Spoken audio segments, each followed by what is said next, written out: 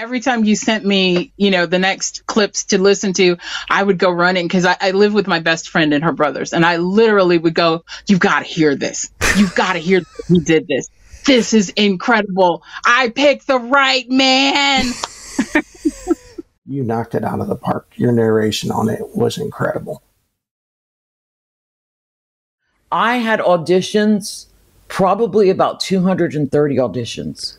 My and goodness. I sat there for hours and hours and um and I finally found Graham Mack and he read my book. Women They want to hear you. They want to go to sleep with your voice. They want to throw panties at you because you have that voice. There was one of them that stood out, and I thought, yeah, that, that's going to be that one. But let me hear the rest out first before I make a decision.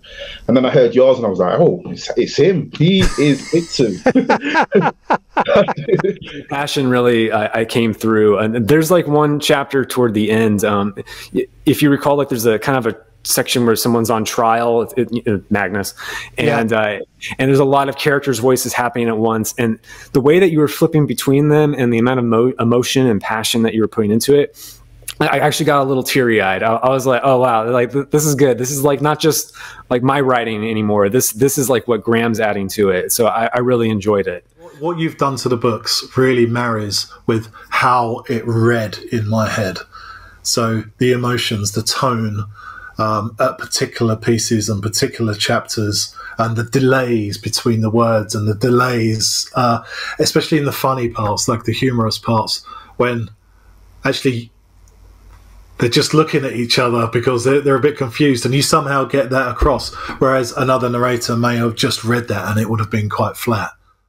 I was a little nervous at first because this was my first book, never never got anything published like this before and I was like, well, my husband listens to a lot of audiobooks. And I was like, well, why don't I try that?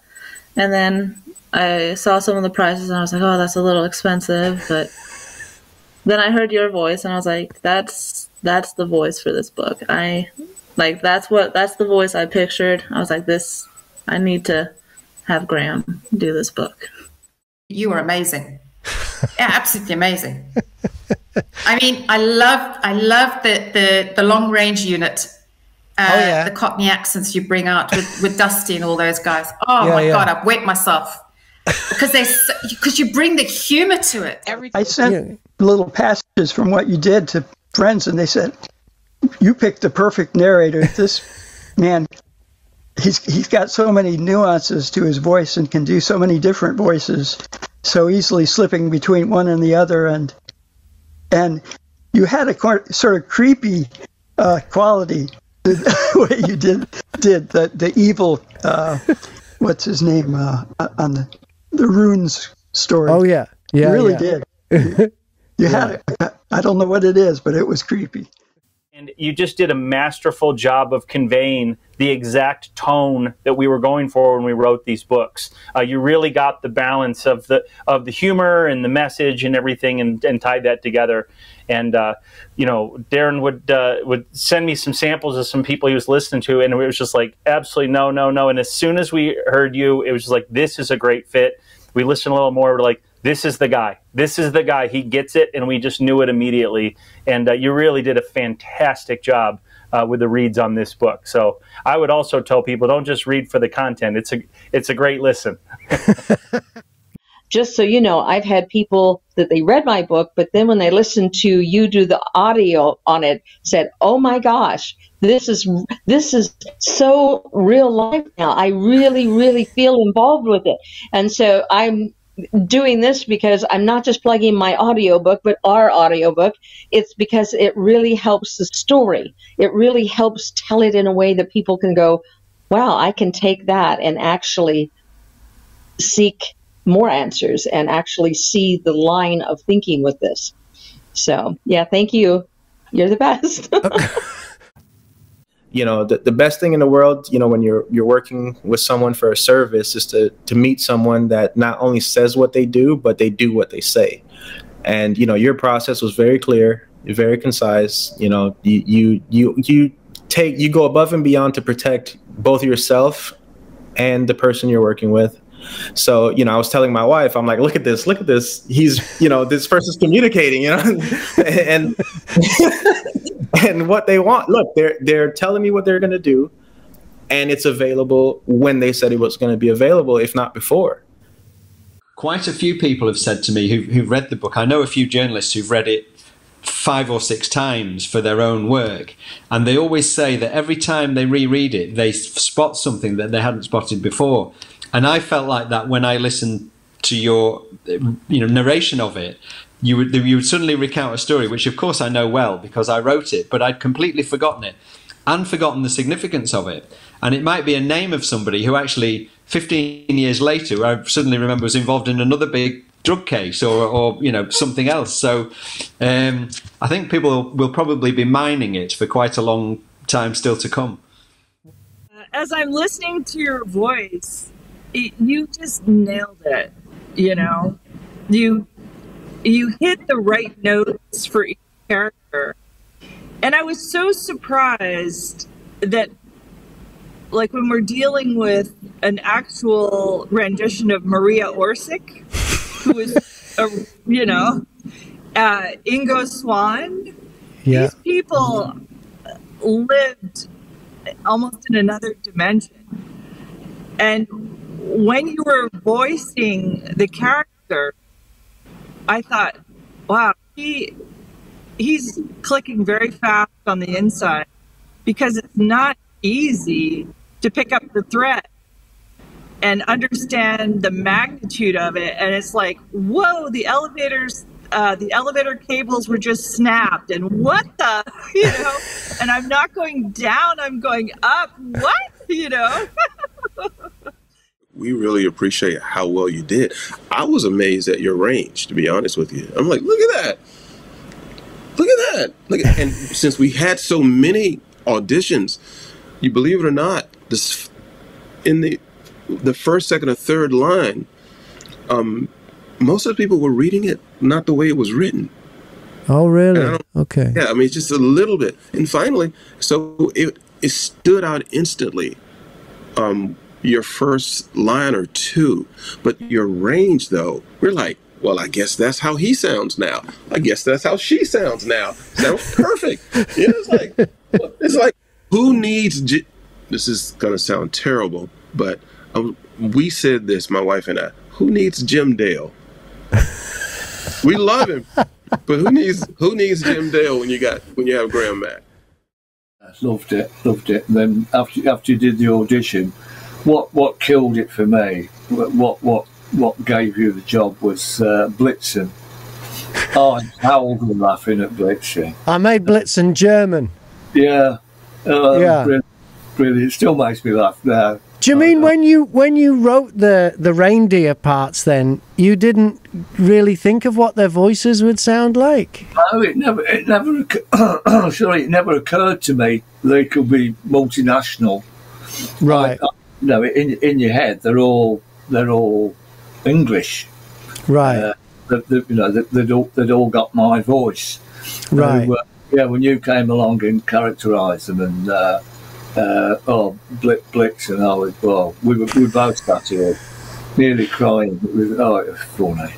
Well, all I had was the words on the page, and I wanted them all to sound different so that when each one was speaking, you knew that it was a different one. Because I think that's one of the things with an audio book is you, the listener has to know that a different character is speaking now. Oh, I mean, you're going to go, you know, Blitzen said, or Donner said, or Cupid said after it, but you've got you only get that afterwards. You've got to know when you hear the words first, um, which one it is.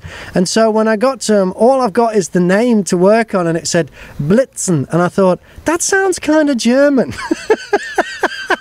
I don't know if I was thinking of like something horrible like Blitzkrieg or something, you know. But I got to anyway. So I thought, oh well, I'll try it because I tried a few out with each one until I found the ones that I thought delivered the lines the funniest. Yeah. You know, so the farting was it Donner the farting one? Oh yeah, was yeah. like was like oh pardon. It just do you know like uh, what was that show was it I didn't know you cared and there was a bloke there was Staveley was a character on old northern sitcom and and he used to go I heard that pardon and and so I had I had pardon in there and I Yeah. thought well I'll I'll nick a bit of that and and that Yeah. so I got that one for that and Cupid sounded like a bit more a bit more kind of um, flamboyant. So then Cupid speaks like that, you know, like almost like like uh, like it's like a Kenny Everett type character, you know, A- almost yeah. like that. Who had a who had a character called Cupid, funnily enough, but nothing like this Cupid, nothing like. But and it was it was a bit like that. And then Blitzen, I made Blitzen made and and he's very it's not you know it's not funny, you know, because things are happening to Blitzen and Rudolph can't help it and God knows and it's like so that was they, they all kind of um, they all kind of came together.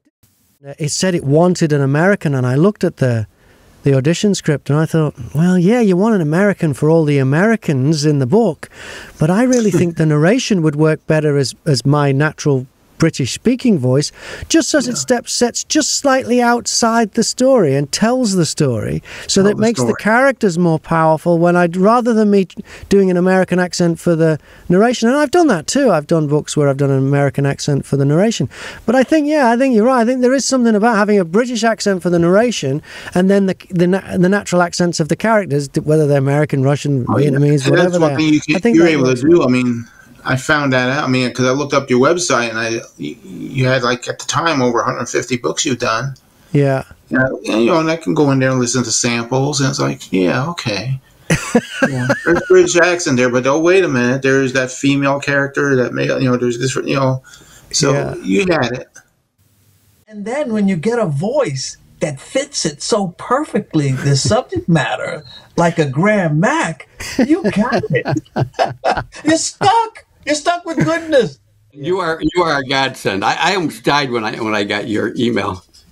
Oh, why? Why is that? Oh, I, I looked up who you were and everything, and you were the first person to audition and and, and the commit. And honest to God, you, you are fantastic. You, you you made you made my wife cry, tears in her eyes and everything. Oh my God! Oh really? Oh, but it's Yes. it's in the it's in the writing, Bob. It's in the the way that it, it's written. It's just such a wonderful story, and it's just nice. It's just lovely to do. You know, you just get involved in it. Uh, you are the master. There's no doubt about it, and it's so great. It's, I love it. and I have loved picking up that book that you narrated. Those characters were so wonderful. Some of them, like the woman from Scotland, was spot on, and uh, the the the guy from Taiwan was another one, and the villain in the book that was perfect. Where you know with the uh, what was the name? Uh, One of the Sopranos, where he was. Um, Tony Soprano. yeah. yeah. Well, you said in the notes you want him to be a bit like a Tony Soprano. So I watched a few things on YouTube so as I could get it down. I didn't want to do an impression of him, but I wanted to have the same vibe. And he was fun to do. Yeah. He was perfect. so you know, it was.